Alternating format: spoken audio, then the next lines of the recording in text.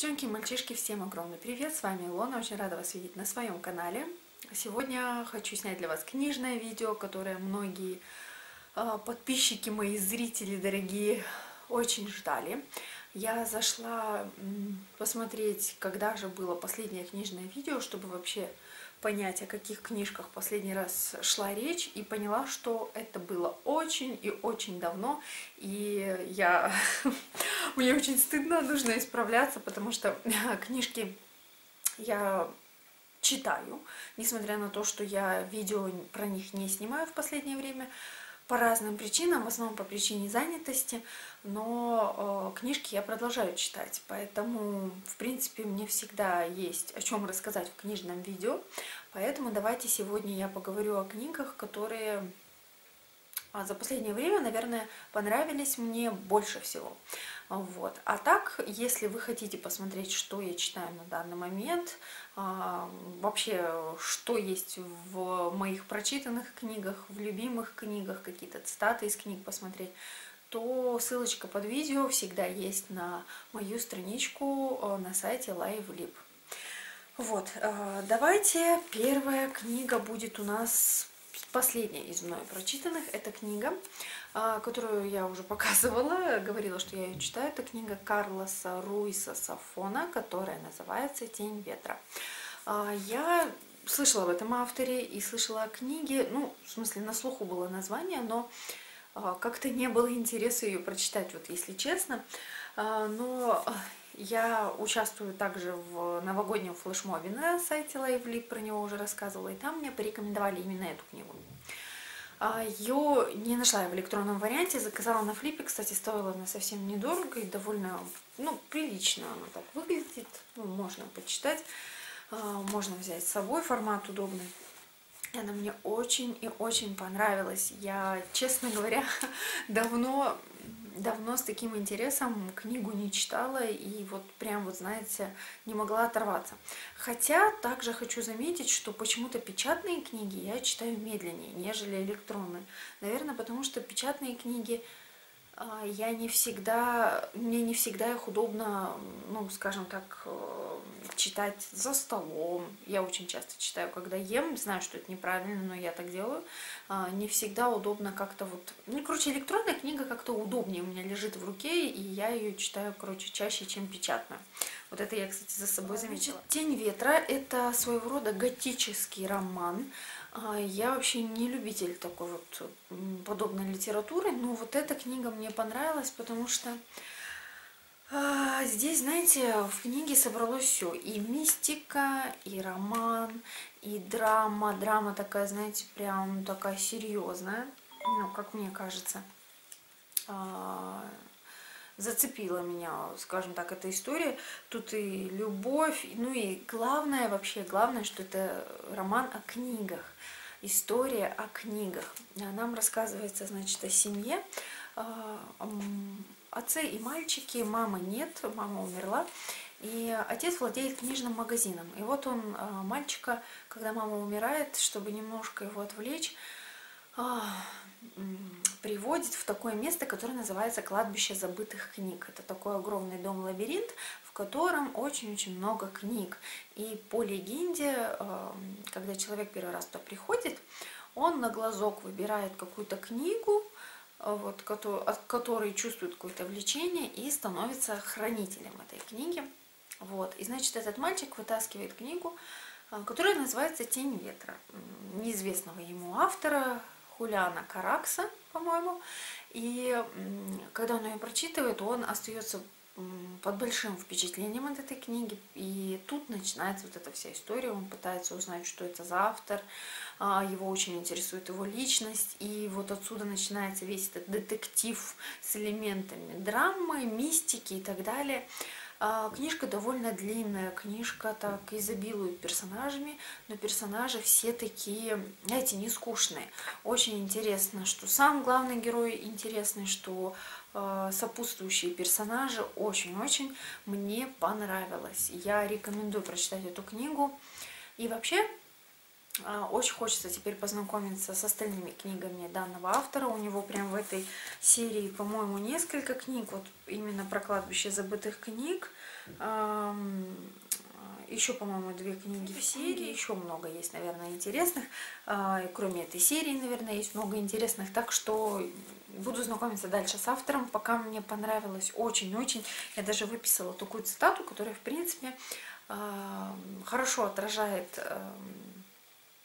то, почему одни и те же книги кого-то прям сильно цепляют, а кого-то оставляют совсем равнодушными или вызывают же противоположные какие-то эмоции.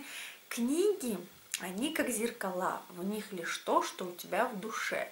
Поэтому мне вот эта цитата очень запала в душу, и ну, каждый из нас, наверное, все равно ту или иную историю, ту или иную книгу воспринимает через собственную призму, поэтому все, все верно, все верно сказано автором, так что очень-очень понравилось и рекомендую.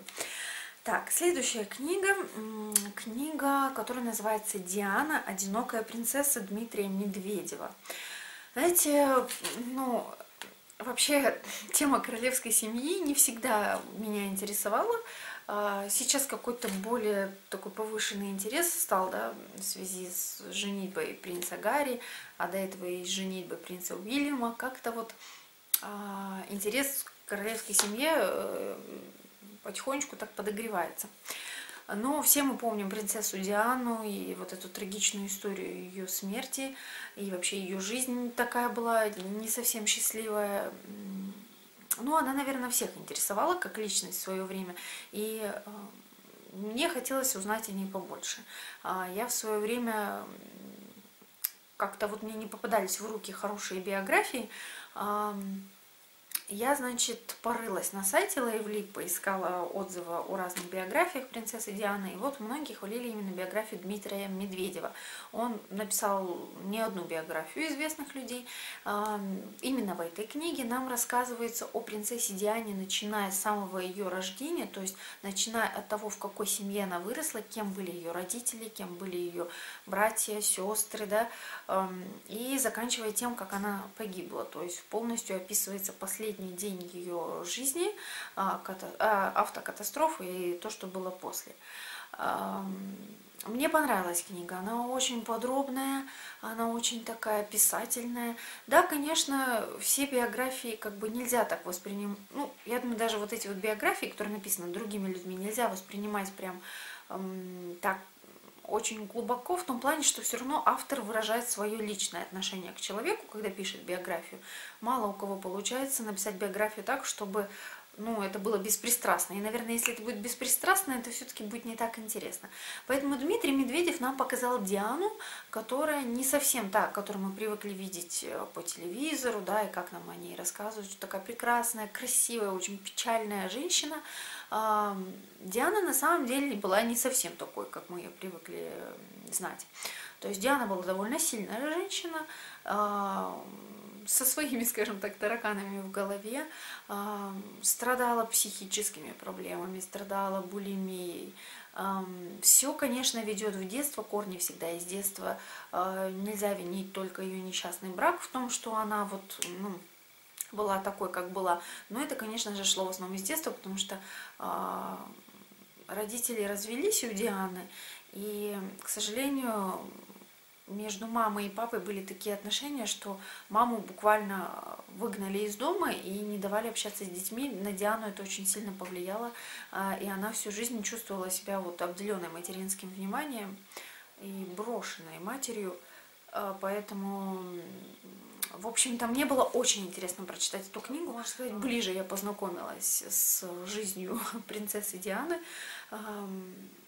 И вот знаете, вот этот последний день, где описывается сама автокатастрофа, что ей предшествовало и так далее, а, он очень, конечно, так, знаете, тяжело читать. Вот, честно говоря, мне даже тяжело читать. Не то, что вот я потом еще посмотрела два документальных фильма, мне было, мне хотелось как-то дополнить, вот знаете, вот а, эту историю картинками, да. Я посмотрела еще два два документальных фильма, один из которых был э, «Принцесса Диана. Интервью от первого лица». Именно где Диана рассказывала сначала, давала такое интервью своему учителю по речи, а, то есть они беседовали, и вот э, как бы цитаты из этого интервью показаны были в видео. И то интервью, которое всемирно известное, которое она дала, а, не помню, как звали журналиста, но когда своим интервью она так подставила всю королевскую семью под удар, потому что очень откровенно там рассказывала о некоторых вещах.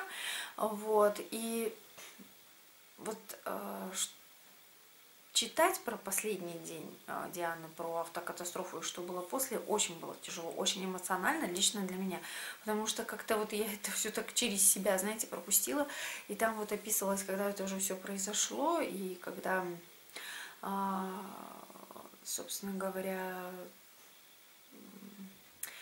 описывается приезд принца Чарльза за Дианой, за самой, и вместе с до него еще прилетел, по-моему, личный ее помощ, помощник, он прилетел первый, а потом только прилетел принц Чарльз, и вот это вот описывается, как они ее увидели, и потом описываются похороны, и вот, короче, это так все честно, эмоционально тяжело. Мне как-то, я вот эту историю всю как-то через себя почему-то пропустила, не знаю. А, вот. Но я очень советую, если вы интересуетесь именно личностью принцессы Дианы, и вам интересно как-то немножко больше познакомиться с фактами из ее жизни, о том, каким она была человеком, а, чтобы не судить о ней так однобоко. А, ну, я не скажу, что я стала по-другому как-то относиться к ней как к человеку, но я немножко больше о ней узнала и поняла, почему вот в каких-то ситуациях она вела так себя, а не иначе. Ну, прекрасная, конечно, была женщина, и олицетворение, конечно, вот этой вот э, э, девичьей мечты о короне, да, о том, чтобы стать принцессой и выйти замуж за принца. Э, это, конечно, такая сказка, которая, ну, такая не совсем сказочная. Так что очень книга мне понравилась, рекомендую. Следующая книга, о которой уже много-много раз я говорила, но я обещала также ее добавить в книжное видео для тех, кто не смотрит влоги. А, это книга Шарлотты Чо «Корейские секреты красоты». Да, все книги, я название ставлю, чтобы вы могли их найти. Вот, значит, книга ну, коротенько. Книга замечательная, книга, мотивирующая на то, чтобы заниматься собой, заниматься своим уходом за лицом и за телом, а, в частности. Ну, там и об образе жизни, конечно, рассказывается. Также книга будет интересна тем, кто вообще интересуется корейской культурой, э, корейским образом жизни, я не знаю, как это можно так это назвать.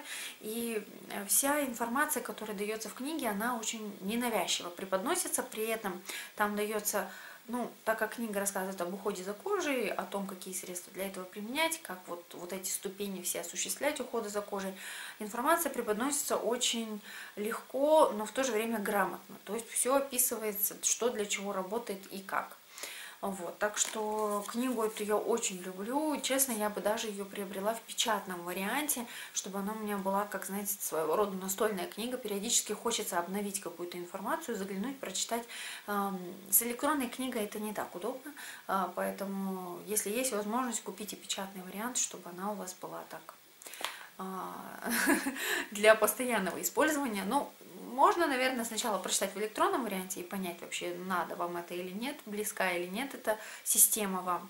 Но мне она оказалась очень близка, понравилась, так что очень рекомендую. А, также хочу рассказать вам об авторе, а, которую зовут Эми Харман. А, мне у нее понравилось э, несколько всего этого автора понравилась серия. Такая вот э, не фантастическая даже, а сказочная, назовем ее так. А, две книги из этой серии я прочитала, э, которые называются «Птица и меч» и «Королева и лекарь». Вот «Птица и меч» — это прям, вы знаете, прям бальзам на мою душу. Это такая вот, вот реально сказочная история, то есть абсолютно вот и до но такая красивая и такая вот какая-то, вот знаете, сказка для взрослых, что называется. Конечно, не детская, но вот в ней есть все, чтобы вот погрузиться в эту атмосферу. И, конечно, про любовь она, а, но при этом такая вот прям, не знаю, мне кажется, по ней даже фильм можно было бы какой-то снять, и это было бы интересно. А, но, в принципе, «Королева и лекарь» тоже история такая тоже из того же разряда, тоже сказочная, немножко меньше она меня зацепила, вполне понравилась, так что вот для любителей чего-то такого сказочного и про любовь, я думаю, вам понравятся эти две книги. И также у Эми Харман есть хорошая книга в стиле Young Adult, Я не знаю, любите вы такое читать или не любите, но я люблю, в принципе, мне нравится. Я люблю серию Young Adult. И э, у Эми Харман есть книга, которая называется «Меняя лица». Она про подростков, ну да, наверное, про подростков, про красоту, про то, что, ну, как э, банально, что, конечно, внешняя красота – это всего лишь обертка, это всего лишь фантик, а, и что иногда какое-то только увечье да, у человека красивого а, позволяет ему наконец понять, что надо смотреть вглубь, а не на обертку. Да?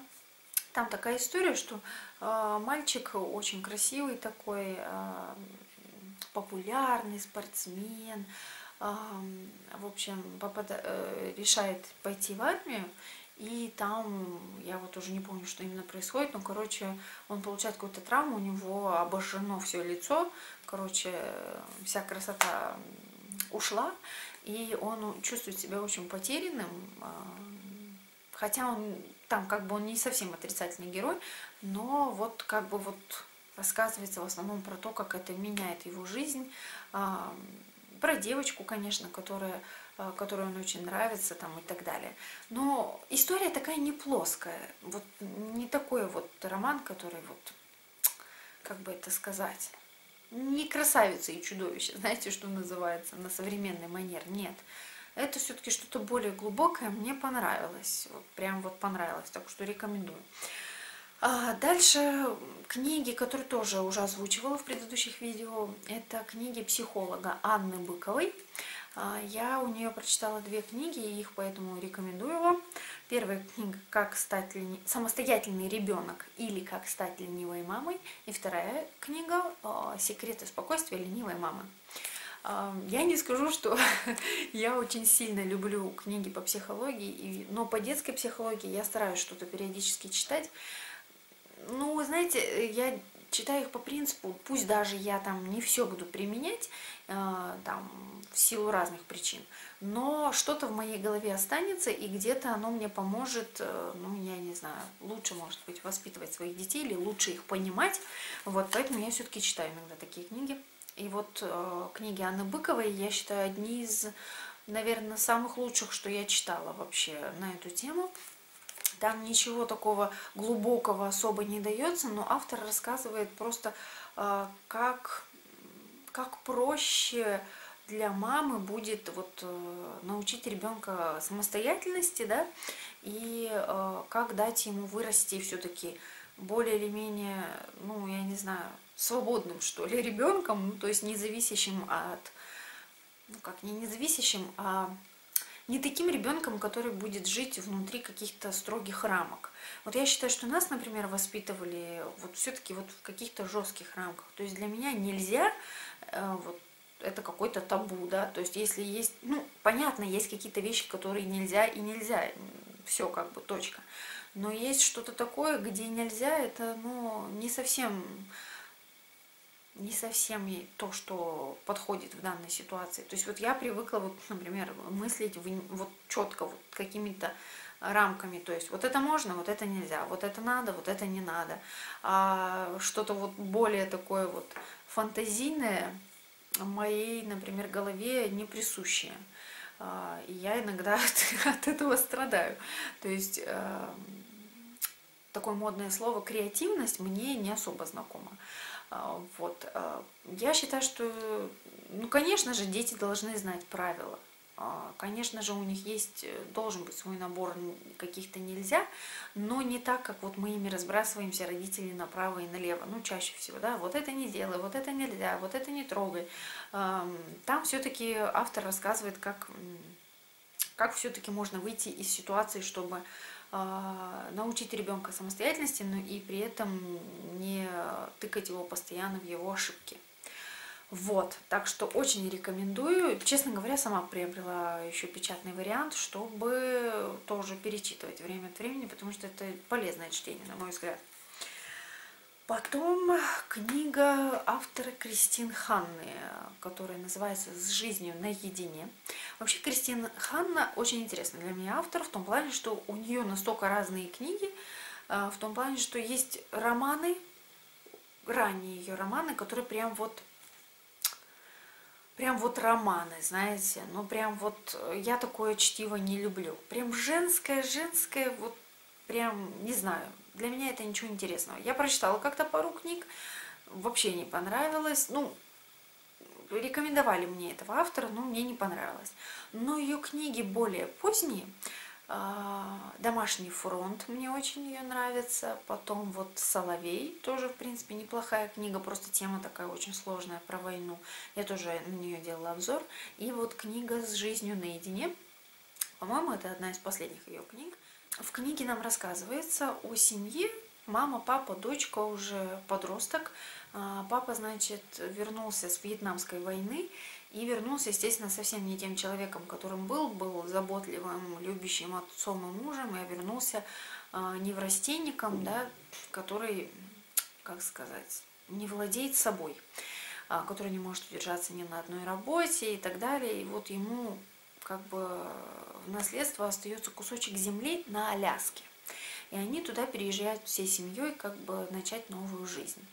И здесь начинается самое интересное, как они пытаются выжить в этих суровых условиях. Мне было очень интересно эту книгу читать не только о самой ну, не только потому, что сама история интересная, но очень интересно описывается вообще эта местность, природа Аляски. Я про Аляску знаю, например, очень-очень мало, но Аляска для меня это, вы знаете, что-то ассоциация вот знаете, очень похоже на наш климат северный. Конечно, условия пожестче все-таки, но тем не менее напоминает вот эти наши суровые морозы, да, и, в общем, как эта семья пытается выжить, во-первых, в новых для них условиях, а во-вторых, а, там очень ограниченный круг людей проживает, а, и, в-третьих, отец, который вроде как бы все неплохо, но когда на Аляске наступает зима и практически нет солнечного света и практически некуда выходить, люди сидят целыми днями дома, у отца, в общем-то, начинает рвать крышу на этой почве, и э, это, конечно, он начинает поколачивать, что мать, что пытался бить дочь.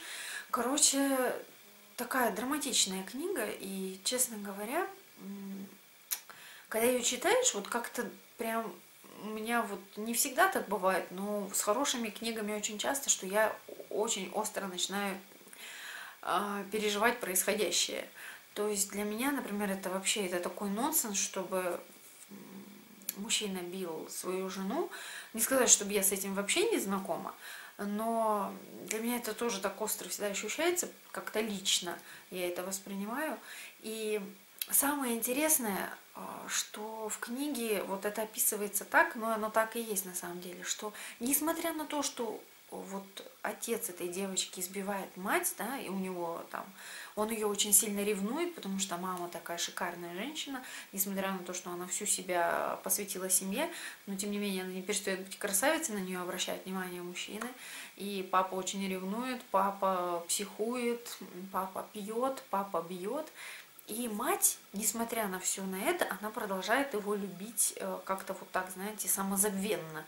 То есть это какой-то на грани мазохизма что-то, на мой взгляд, но и что девочка, она не понимает, то есть она уже сама была готова, чтобы мама ушла от папы, ну, потому что он ее буквальным образом убивает каждый раз, и она, ей жалко, естественно, мать, хоть она и понимает, что отец это делает, ну, как сказать, не владея собой, но, в общем, для девочки это, конечно, такой очень нехороший пример, когда вот такие вот отношения между родителями.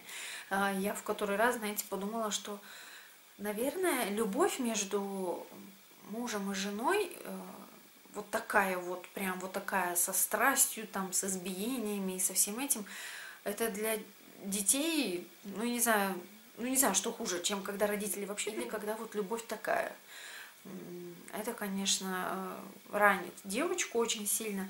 И нам рассказывается вот о ее жизни вот от периода подросткового и уже до самого взросления, как она становится сама женщиной, матерью. Эта книга, я считаю, о сильных женщинах в первую очередь. А вот эта девочка, она, конечно, у нее вообще не было шансов, наверное, в жизни, кроме того, как быть сильной, не сломаться, потому что она, наверное, даже а, характером посильнее своей мамы, оказывается.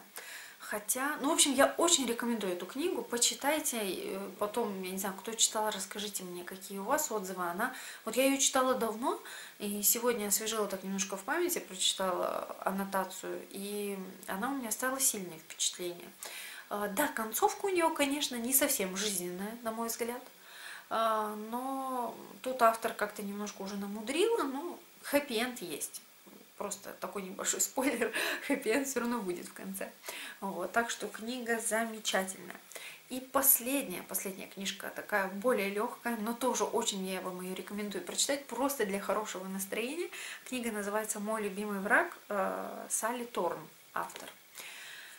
У нее такая легкомысленная обложка, и, честно говоря, я думала, боже мой, ну опять какой-то вот очередной американский вот романчик какой-то вот такой. А, ну, у нее было столько восторженных отзывов, думаю, ну, что-то что, -то, в ней, наверное, такое есть, надо попробовать прочитать. И вы знаете, я осталась в таком восторге от этой книги, вот просто вот. Это реально роман. А, о любви, конечно же, об отношениях, но она настолько так легко, приятно, юмористично написана, что ее одно удовольствие читать. И к сожалению, по-моему, у этого автора нет на русском языке других книг, но я очень жду, что она что-то напишет и это переведут, потому что у нее очень хорошо получается рассказывать такие вот истории о людях, а, девушки Люси и парни Джоше, которые работают в издательском, а, в издательском доме. И в этом издательском доме два ну, владельца – а, и получается девушка, секретарь э, одного владельца женщины и парень, секретарь э, другого владельца мужчины. И, в общем, они на работе очень сильно конфликтуют между собой а, и постоянно друг друга подкалывают, и, можно сказать, даже ненавидят, э, ну, такой вот, знаете, вплоть до того, что выживают друг друга с рабочего места. Но потом в итоге оказывается, что не столько-то они друг друга ненавидят, как говорится, от любви до ненависти один шаг. Вот. И нам рассказывается вот такая, так, такая вот история, которая наоборот от ненависти до любви. А, мне понравилось, я с удовольствием почитала и с, с таким приятным чувством вспоминаю эту книгу, так что ее тоже очень рекомендую. Ну вот, на этом книжное видео подошло к концу, не знаю, насколько я уж там наговорила, а, но все книги, о которых я вам сегодня рассказала, я очень рекомендую прочитать. Список обязательно оставлю под видео, и напишите мне, что читаете вы сейчас, или же напишите, поделитесь своей любимой книгой, а, которую прям вот очень любите. А, если я ее еще не читала, я обязательно прочитаю. А, собираю я вот такие книжечки. Ну, есть замечательная функция на сайте LiveLib «Хочу прочитать», и я туда добавляю все, что я хочу прочитать, и потом, как только у меня появляется возможность, я ищу. Ищу, смотрю, скачиваю, читаю, и потом делюсь своими впечатлениями. А, к сожалению, рецензии писать в последнее время у меня как-то не очень получается. Мне вот так вот э, поделиться своим мнением на камеру намного проще, чем поделиться своим впечатлением на бумаге, а, ну или как бы в электронном формате. Хотя раньше я очень много писала сочинений на тему разных произведений. Сейчас я не знаю, может быть я деградирую, может быть, не знаю, мне тяжело. Тяжело писать рецензии, там столько каких-то лишних слов, как-то я все это так не знаю, надо работать, наверное, над собой, потому что я часто читаю рецензии на LiveLib, и замечательно многие читатели пишут свои отзывы, и тоже хочется иногда прям поделиться своим впечатлением о книге, и я сижу и долго мучаюсь, чтобы что-то такое написать, что реально бы отразило мое отношение к прочитанному. Вот. Так что я буду очень рада, если вы эм, оставите комментарий под этим видео и оцените его. Если будут комментарии будут лайки для этого видео, конечно же, я продолжу снимать. Конечно же, буду делиться впечатлениями о том, что читаю, или что буду читать, или что хочу читать. И тогда мы увидимся с вами очень скоро. Всем пока!